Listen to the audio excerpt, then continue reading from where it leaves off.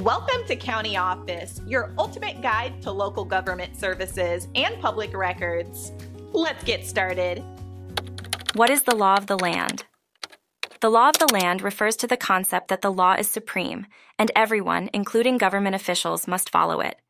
It is based on the principle that no one is above the law, ensuring equality and fairness in the legal system.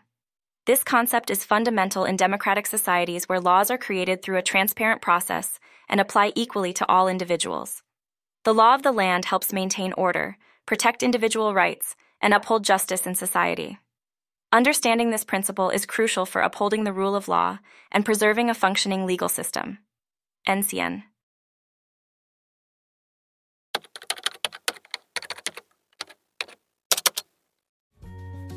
To learn more, check out these links, which you can click in the description below.